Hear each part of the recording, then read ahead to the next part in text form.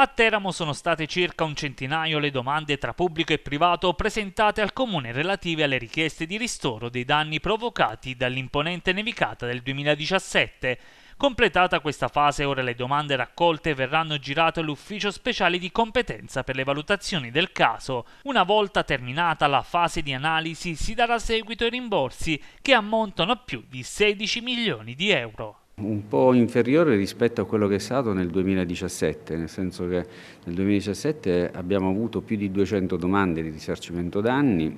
escludendo la parte pubblica. Eh, oggi eh, abbiamo avuto circa 75 richieste di risarcimento danni dai privati e 27 per la parte pubblica, tra cui nelle 27 c'è anche una richiesta da parte dell'Università di Teramo e una richiesta che viene dal Circolo Tennis di Teramo ma che ovviamente può essere inclusa tra quelle dell'amministrazione comunale. Questo risarcimento quando ci sarà? Adesso le domande sono state trasmesse all'USR per la verifica della conformità, quindi diciamo per verificare che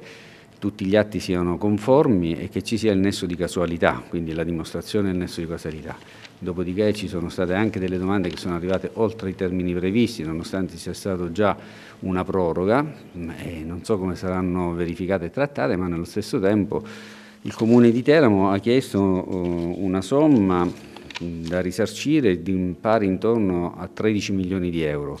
mentre invece i privati si aggira intorno a 3 milioni, 3 milioni e mezzo di euro. Quindi diciamo che sarebbero fondi importanti se potessero arrivare, il territorio se lo aspetta, nostro, la nostra amministrazione comunale ha ovviamente lavorato alacremente per risalire a tutte le problematiche che furono connesse con l'emergenza neve e sisma del 2017 e devo dire che grazie all'attività dell'ufficio tecnico siamo, siamo riusciti a fare delle richieste di risarcimento danni che sono importanti e che potrebbero ovviamente aiutarci nel futuro della nostra attività amministrativa.